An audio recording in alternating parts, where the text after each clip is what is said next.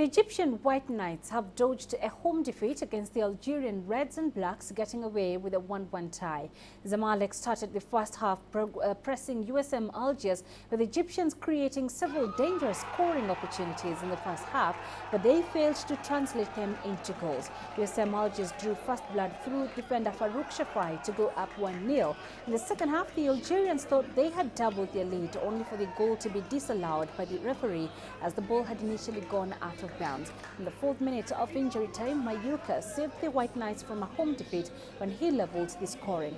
Zamalek still sit at the helm of the CAF Champions League Group B, but the home fans were displeased with the match day results. I don't think Zamalek has a super striker. We had so many opportunities to score in the first half, which could have made us win this game. All were wasted. The referee was honestly excellent. The team didn't have the winning spirit.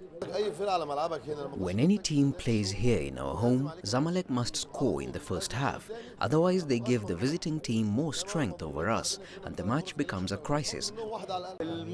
Our next match will be very hard. It's in Algeria, but even if Zamalek lost it, the club can win over Al Ahli Tripoli and can win over Caps United.